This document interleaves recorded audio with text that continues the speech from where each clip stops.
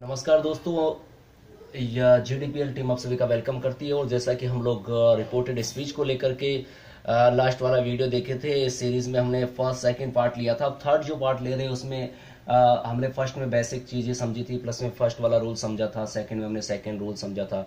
अब जो third rule है उसके बारे में डिस्कस करते हैं। वो भी वीडियो आपके लिए मददगार साबित होगा। ऐसा होता तो लाइक करना ना भूलें शेयर करना ना भूलें। और ज़्यादा से ज़्यादा हमारी वीडियोज़ के अपडेट का लाभ उठाने के लिए हमारे यूट्यूब चैनल सी को सब्सक्राइब करना ना भूलें। तो गैस बात करते हैं, तीसरा रूल है टाइम एंड डिस्टेंस से रिलेटेड अब बात यहाँ पे टाइम एंड डिस्टेंस की बात करें तो ये देखेगा हम लोग यहाँ पर, अगर प्रोनाउन जैसा कि आपने वीडियो में देखा होगा, हम लोगों ने ऑलरेडी अपलोड कर दिया है। उस प्रोनाउन में आपने देखा होगा डीमोनेस्टेटिव प्रोनाउन होता है। उसमें हम लोग किससे लेते हैं? डिस्टेंसियर को बताने वाले वर्ड उसी तरीके से इसमें भी ऐसा ही करना है।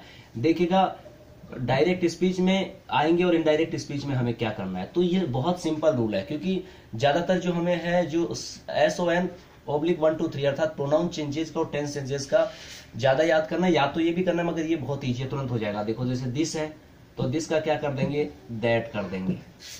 ठीक है डीज है तो क्या कर देंगे? दोज कर देंगे।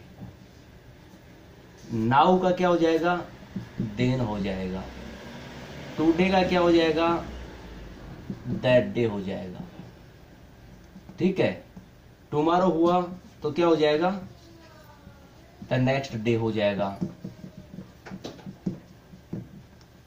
और कई बार, यानी कि कई बार कम का क्या होता है? गो भी हो जाता है। ये क्या होता है? कभी कभी होता है। ठीक है? बाई चांस होता है। इस बात का ध्यान रखिएगा, ये कम का गो और जैसे यस्टरडे हुआ तो द प्रीवियस डे हो गया। ठीक है? इस तरीके से कहने का तो हियर का देयर हो गया हेंस का थेंस हो गया।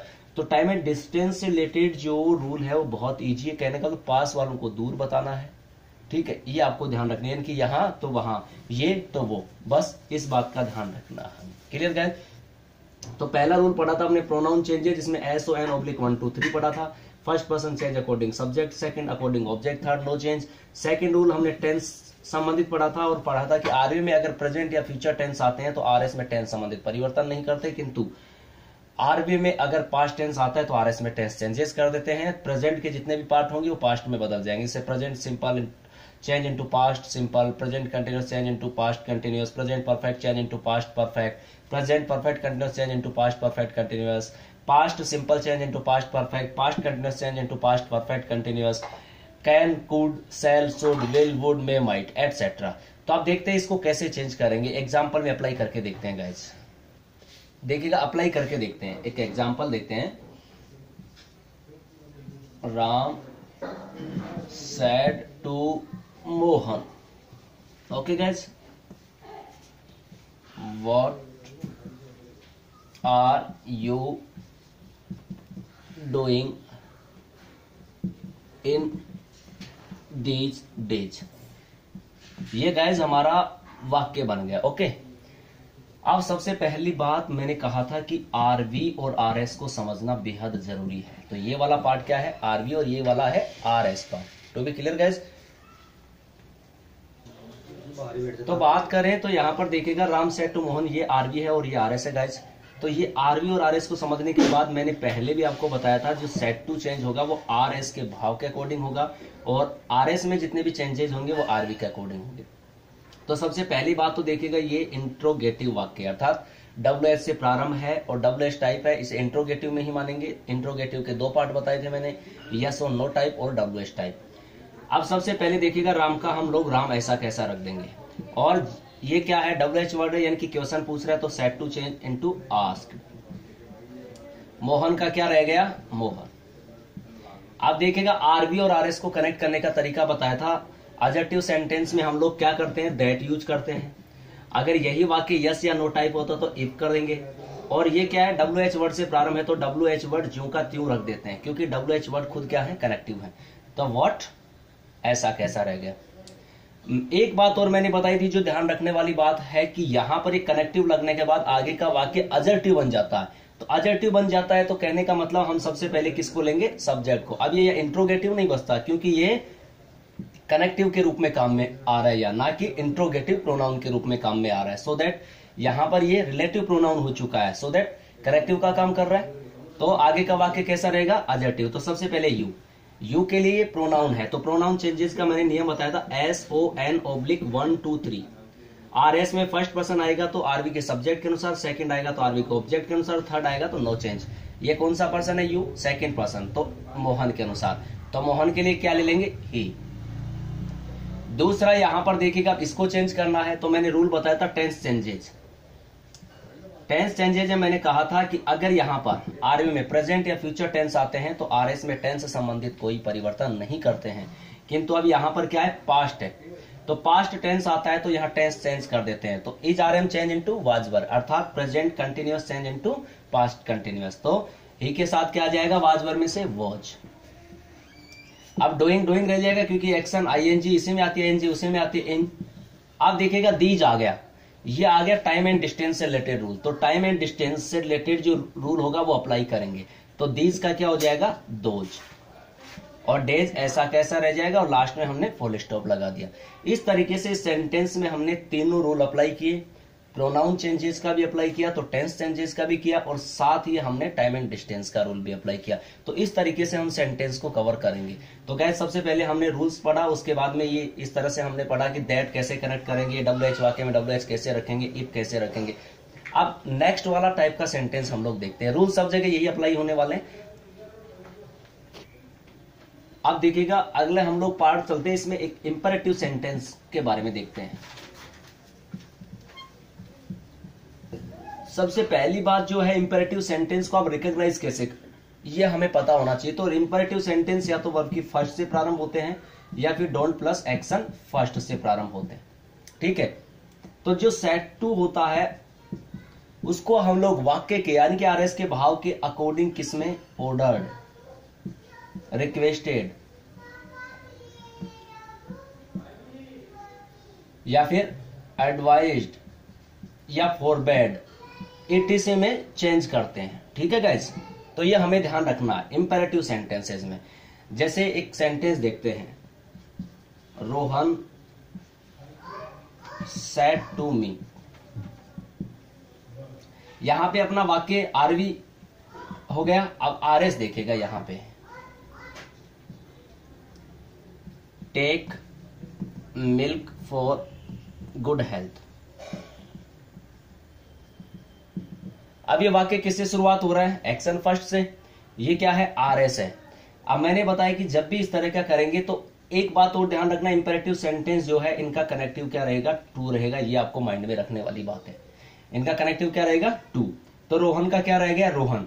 अब आगे देखिएगा take milk for good health तो ये किसका भाव दे रहा है? एडवाइस का। तो यहाँ पे रोहन एडवाइज सेट टू की जगह क्या कर दिया? एडवाइज ठीक है? मे का मी रह जाएगा। कनेक्टिव वर्ड टू और टू के बाद हमेशा कौन से आती है? वर्ब की फ़र्स्ट फॉर्म का यूज़ होता है। तो to take milk for good health, क्योंकि आगे ना तो प्रोनाउन चेंज करने की रिक्वायर्ड है और ना ही किसी तरह का अन्य टाइम और डिस्टेंस से रिलेटेड रूल इसमें अप्लाई हो रहा है। टू बी क्लियर गाइस तो इंपेरेटिव सेंटेंस में हमें इस तरह से यूज़ करना है। अब बात करते हैं, एक और एग्ज़ाम्पल देखते हैं। Officer said to soldiers move ये हमारा आरवी और ये हमारा आर एस अब मैंने कहा था वाक्य या तो वर्ब की फ़र्स्ट से शुरू होंगे या फिर डोंट प्लस एक्शन फ़र्स्ट से शुरू होंगे। तो देखिएगा, हमें इसको चेंज आरएस के भाव के अकॉर्डिंग करना है और पहली बात ध्यान रखना, कोई भी अधिकारी अपने से अधीनस्थ कर्मचारी को कोई बात कहता है, वो हमेशा ऑर्डर मानी जाती है। तो यहाँ ऑफिसर का ऑफिसर रह जाएगा सेट टू को किसमें चेंज कर देंगे? ऑर्डर्ड में। ठीक है? और हिट सोल्जर्स का हिट सोल्जर्स आ गया। और जैसा कि हमारा रूल है इंपेरेटिव सेंटेंस में कनेक्टिव के रूप में क्या लेंगे? टू और मूव ऐसा का ऐसा आ गया, ये हमारा इनडायरेक्ट बन गया। तो क्या बन गया हमारा indirect officer ordered his soldiers to move to be clear guys अब इंपेरेटिव के बाद में हम देखते हैं ऑप्टेटिव सेंटेंसेज अब देखिएगा ऑप्टेटिव सेंटेंसेज गाइस सिंपल सी बात है कि ये नाम से ही प्रतिपादित हो रहा है ऑप्टेटिव यानी कि ऑप्शन ऑप्शन का मतलब डिज़ायर या विश ठीक है? जैसा कि आपको एग्ज़ाम में भी क्या होता है अल्टरनेटिव के ऑप्शंस दिए हुए होते हैं। उसी तरीके से ऑप्शन है हमारे पास। हम चाहे तो किसी को गालियाँ दें, चाहे तो हम लोग किसी के लिए दुआएँ करें, चाहे तो हम किसी के लिए प्रार्थना करें। किसी की हम लोग निंदा करें, ये हमारे ऊपर है। तो कहने का मतलब ऑप्शन का मतलब डिज़ायर या विश तो हम लोग सेट टू की जगह क्या कर देंगे? अगर हम लोग किसी को आशीर्वाद दे रहे हैं तो क्या हो जाएगा? ब्लेस्ड और ब्लेस्ड का ध्यान रखना, ये स्पेशली बड़े बुज़ुर्ग लोग देते हैं, ठीक है? वाक्य में भाव देखना में। सेट टू की जगह अगर वाक्य में दुआओं का भाव है तो विष्ट कर देंगे। अगर गालियों का भाव है तो एब्यूज श्राप दे रहा है तो क्या कर देंगे? सेट टू की जगह कस्ट निंदा कर रहा है तो डैम्ड एक बात का फिर से मैं आपको बता देता हूँ कि आरवे में सेट टू को जो चेंज करेंगे, वो आर एस के भाव के अनुसार करेंगे। इतना ध्यान रखना है। ठीक है, रटने वाली बात नहीं है माइंड में समझने वाली बात है सिंपल सा लॉजिक है कि आरबी में जो सेट टू या सेट टू जो भी आएँगे, वो किसके अकॉर्डिंग चेंज होते हैं? आर एस के भाव के अनुसार होते हैं। और इनका जो कनेक्टिव रहेगा, क्या रहेगा? दैट रहेगा। ठीक है? एक एग्ज़ाम्पल देखते हैं। An old lady said to me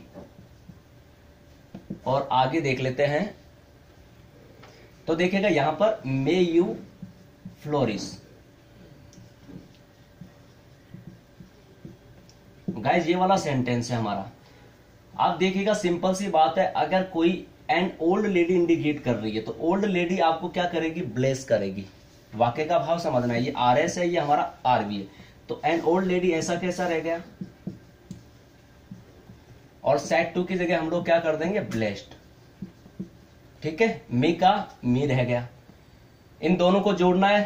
collective word क्या ले लेंगे? दैट और दैट के बाद सबसे पहले हमारा सब्जेक्ट यू यू चेंज यानी कि second person change according object तो क्या हो जाएगा? आई मे का क्या कर देते हैं? माइट और फ्लोरिस का फ्लोरिस टू बी क्लियर गाइस तो कहने का मतलब वाक्य सारे सेंटेंस हमारे लिए इजी है, बस समझना क्या है? आरबी में जो चेंज होंगे आरएस के अकॉर्डिंग होगी और आरएस में सब चीज़ें आरबी के लिए चेंज होंगी। ठीक है? अब देखते हैं अगला पार्ट एक्सक्लेमेटरी सेंटेंस को कैसे करेंगे? देखिएगा, अगला एक्सक्लेमेटरी सेंटेंस होंगे तो उसमें क्या करेंगे? जो सेट टू आएगा, उसकी जगह हमें क्या करना इस बात का हमें ध्यान रखना है। आप वाक्य में अलग अलग भाव आएँगे। अगर आर एस में खुशी का भाव आ रहा है तो क्या कर देंगे? एक्सक्लेम्ड विथ जोय क्या कर देंगे? एक्सक्लेम्ड विथ जोय दुख का भाव आ रहा है तो एक्सक्लेम्ड विथ सोरो और अगर वाक्य किसका भाव आ रहा है सरप्राइज़ का तो एक्सप्लेन विथ सरप्राइज़। और इनका भी कनेक्टिव क्या रहेगा?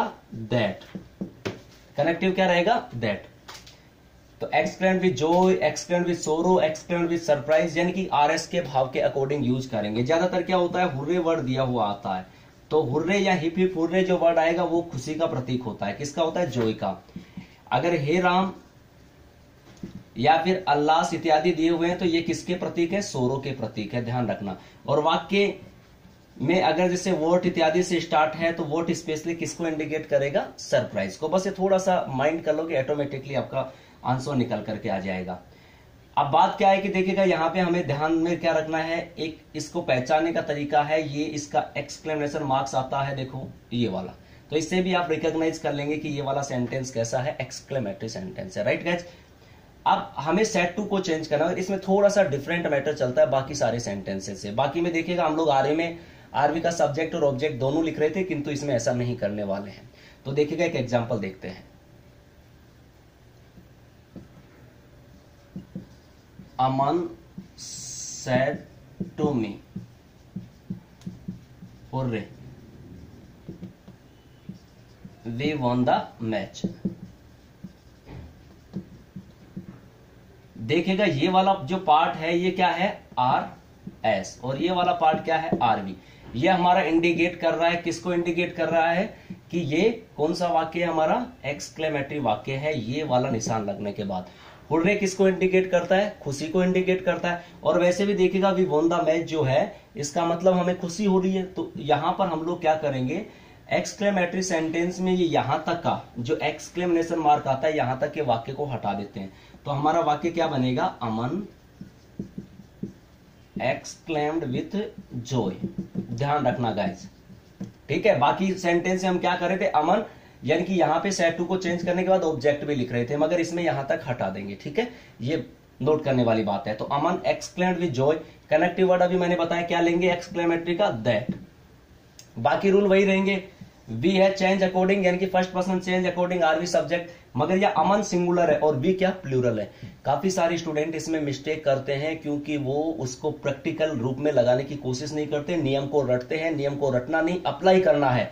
यहाँ पर ये प्लूरल है और अमन तो सिंगुलर हुआ तो यहाँ पे हम सिंगुलर यूज़ नहीं कर सकते। प्लूरल है तो प्लूरल फॉर्मेट में ही चेंज होगा, इस बात का ध्यान रखना है। तो बी है तो वी के लिए हम लोग थर्ड पर्सन के रूप में यहाँ क्या यूज़ कर लेंगे? दे यूज़ कर लेंगे। क्या यूज़ कर लेंगे? दे अब गाइस देखिएगा, यहाँ पर टेंस चेंजेस नियम भी चालू होगा। तो टेंस वोन है वोन एक्शन सेकंड है। तो एक्शन सेकंड बोले तो past simple past simple change into past perfect तो क्या हो जाएगा? दे हैड क्या हो जाएगा? They had won the match इस बात का भी ध्यान रखना है आप लोगों को।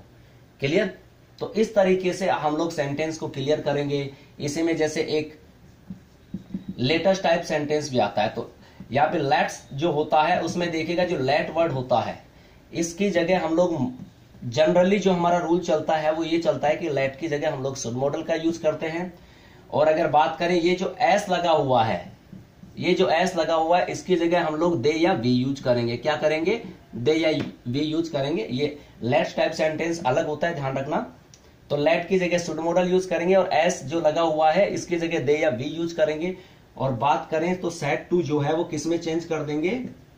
सजेस्टेड या प्रोपोज में। तो सजेस्टेड टू या प्रोपोज टू के रूप में हम लोग इस तरह से यूज़ करते हैं। यही एक सेंटेंस है जिसके अंदर हम लोग डायरेक्ट स्पीच में भी टू लगाते हैं। सजेस्टेड के साथ टू लगाते हैं। अदरवाइज़ ये और प्रोपोज के साथ या टू लगाते हैं। जैसा कि मॉडर्न इंग्लिश जो है उसमें देखा होगा, काफ़ी सारी आप जब अलग अलग स्टडी करोगे तो कई जगह आपको सजेस्टेड टू प्रोपोज टू लिखा हुआ मिलेगा। तो ये लेट टाइप सेंटेंस में हमें स्पेशली क्या करना है? लेट की जगह सुट सेट टू की जगह सजेस्ट सजेस्टेड और प्रोपोज में चेंज कर देंगे। सेट को किसमें चेंज करेंगे? या तो सजेस्टेड में या प्रोपोज में। और एस की जगह दे या वी हम लोग ले लेंगे। ठीक है? तो गाइज़ हमने अलग अलग सीरीज़ में अलग अलग वीडियो देखा अलग अलग रूल्स अप्लाई करके देखा है। आई होप ये वीडियो आपके नरेशन को कंप्लीट करने में काफ़ी मददगार साबित होगा। इसके अलावा हम लोग स्पेशल नरेशन की ड्रिल का वीडियो भी आपको प्रोवाइड करवाएँगे। तो आपको अगर वीडियो पसंद आता है तो इसे लाइक करना ना भूलें शेयर करना ना भूलें और साथ ही ज़्यादा ज़्यादा वीडियोज़ के अपडेट का लाभ उठाने के लिए हमारे यूट्यूब चैनल जीडीपीएल को सब्सक्राइब करना ना भूलें। Thank you for watching this video